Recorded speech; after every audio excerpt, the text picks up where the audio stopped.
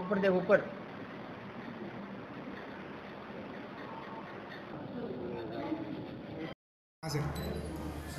कल करीब साढ़े ग्यारह, बारह बजे के आसपास की घटना है।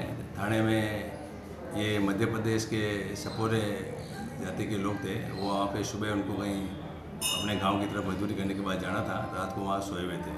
तो एक अज्ञात व्यक्ति, उसकी बच्ची को उठा के ले गया तो उन्होंने थाने में आके बच्चे के गुम होने की सूचना दी। तो थाने में मांगीलाल हेड कांस्टेबल और ये तीन चार कांस्टेबल थे, राजेंद्र मीणा वगैरह वहाँ पे तुरंत पहुँचे। फिर उसने मुझे इतला दी तो यहाँ से अपने थाने के और भी कांस्टेबल, निमाराम हेड कांस्टेबल रामरक ये रमेश मुल्तान वगैरह सभी स्टाफ वहाँ पहुँचा।